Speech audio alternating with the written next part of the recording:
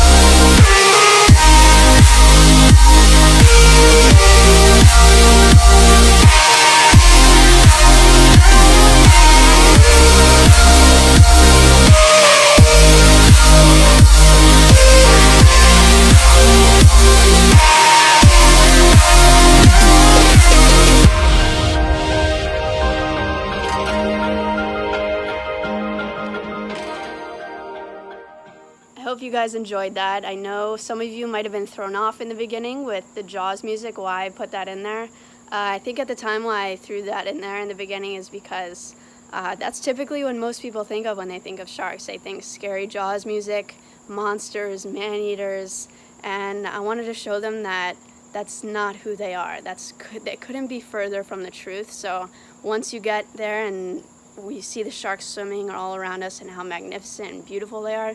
The music changes and it's more happy, peaceful, and you really get to appreciate their beauty. So let me know if you guys enjoyed that. Uh, and if you have any questions, you can either shoot me a message on Instagram or comment below.